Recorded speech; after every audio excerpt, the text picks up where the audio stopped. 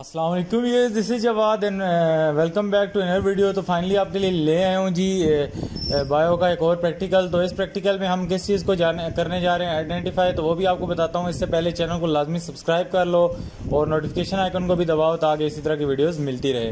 तो यहाँ पे हमारे पास जो स्लाइड्स आ जाती हैं कि एक तो हमने यहाँ पे मॉडल और चार्ट्स को फॉलो करना था। उसके बाद हमारे पास स्लाइड्स दी जाएँगी।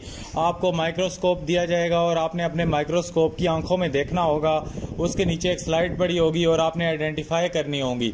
इसी तरह दो माइक्रोस्कोप में आपने जाके अपनी आँखों से मुशाहिदा करके बताना होगा कि जो स्लाइड नंबर सी है सी नंबर माइक्रोस्कोप के अंदर आपने कौन सी स्लाइड देखी और डी के अंदर कौन सी देखी। तो यहाँ पे हमारे पास नाइन्थ के भी प्रैक्टिकल होते थे, ये ज़्यादातर उनसे आती थी। क्योंकि अब टेंथ के प्रैक्टिकल है तो यहाँ से मैं एक्सपेरिमेंट जो आपके लिए लेके इंपॉर्टेंट वाला आ गया हूँ। इसको सिर्फ़ आपने याद वगैरह कुछ नहीं करना, जो मैं बता रहा हूँ, सिर्फ़ वही करना है। तो इसमें observation of binary fission of amoeba using slides और फ़ोटो माइक्रोग्राफ्स और चार्ट तो हम स्लाइड से ही गुजारा चलाएँगे, फ़ोटो माइक्रोग्राफ और चार्ट को दफ़ा करेंगे। और वहाँ पे अगर आपका प्रैक्टिकल लैब अच्छी है, हमारी में तो लगे होते थे माइक्रोसॉफ्ट, माइक्रोस्कोप ढेर सारे और वहाँ पे सारा कुछ होता था।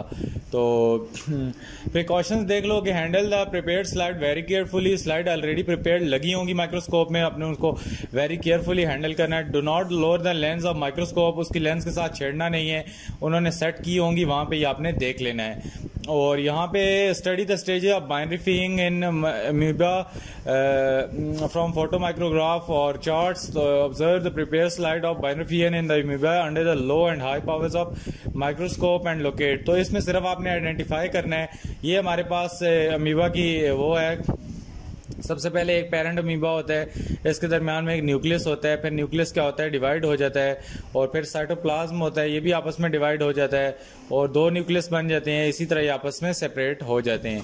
तो इसी तरह ये आपने ये ऑब्जर्वेशन है तो इसको आपने एक बार सिर्फ़ रीड कर लेना है। Mature cell of amoeba is ready for division the cell is bounded by cell membrane and contain nucleus in cytoplasm उसके बाद amoeba now withdraws its pseudopodia और एंड इज़ नन लेस और स्पेलिकल इन शेप उसके बाद nucleus divide into daughter nuclei by mitosis at the same time cytoplasm divide into two और ये सारा काम हो जाता है।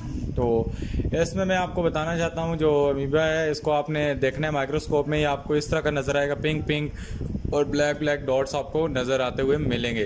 तो ये आपको एक पिक्चर दिखाता हूँ, इसमें आपको पेरेंट सेल ऑफ़ अमीबा नज़र आएगा। तो दरमियान में इसका न्यूक्लियर जो न्यूक्लियस है, ये भी आपको नज़र आ रहा है, सही सलामत एक है। फिर ये आपस में क्या होगा न्यूक्लियस आपस में माइटोसिस करके डिवाइड हो जाएँगे और ये आपस में क्या बनेंगे, दो। बाकी सारी चीज़ें आप देख सकते हैं सेम है यहाँ पे। और फिर क्या होगा, हमारे पास आगे इससे तो फिर क्या होगा, जो पेरेंट सेल ऑफ़ अमीबा है, ये क्या होगा? आपस में डिवाइड हो जाएगा मायोटिक डिवीज़न आपस में इनकी होगी माइटोसिस से, और ये दोनों दोनों अलग अलग हो जाएँगे। और फिर अलग अलग होने के बाद क्या करेंगे, आपस में ये अभी जुड़े हुए हैं, लेकिन न्यूक्लियस अलग हुए हैं, फिर आपस में ये दोनों अपनी बॉडी को भी अलग कर लेंगे, और ये देखें, आपके पास टू डॉटर भी आपको मिल जाएँगे। तो यही था इसका वो एक मॉडल चार्ट सा। तो उम्मीद है आपको ये समझ आया होगा। और दूसरा प्रैक्टिकल आते हैं जो आपका यहाँ पे पार्ट दूसरा आएगा पार्ट डी पार्ट डी में आपका ये प्रैक्टिकल आएगा।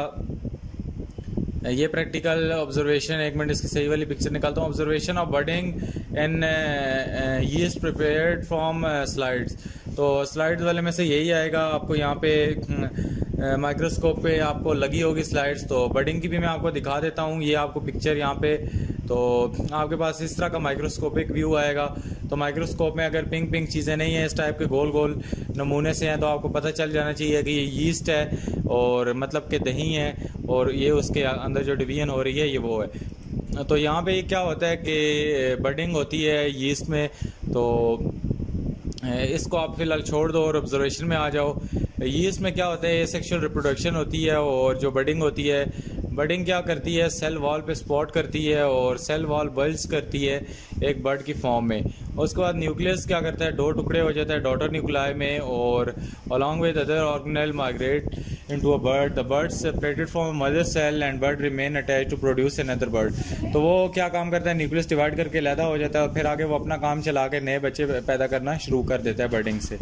तो ये आपको न्यूक्लियस सादा नज़र आ रहा है, इसने क्या काम किया? दरमियान में बडिंग इसके हुई और ये अलग टुकड़ा हो गया वो छोटा सा बच्चा अलग हो गया। तो इसमें यही है, बाकी इसमें कुछ याद शाद करने वाला नहीं है तो मैं इसकी आपको थोड़ी बहुत दिखा देता हूँ, तस्वीरें भी।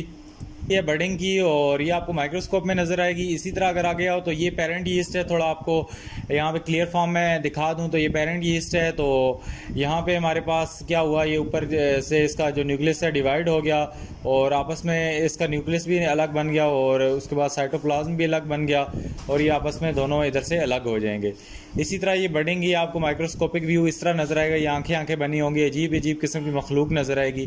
तो ये यीस्ट का ही माइक्रोस्कोपिक व्यू है एक और। तो जो भी आपको नज़र आता है, आप आइडेंटिफाई कर लोगे, ये किसकी स्लाइड है। ज़ाहिर बात है, दो एक्सपेरिमेंट है तो इसमें आइडेंटिफाई करना मुश्किल नहीं होगा। तो उम्मीद है आज की वीडियो अच्छी लगी होगी। वीडियो अच्छी लगी तो चैनल को लाजमी सब्सक्राइब करो। अगर चाहते हो कोई और प्रैक्टिकल परफॉर्म करके दिखाऊँ तो नीचे कमेंट करो। मिलता हूँ किसी और वीडियो में। अल्लाह हाफिज टेक केयर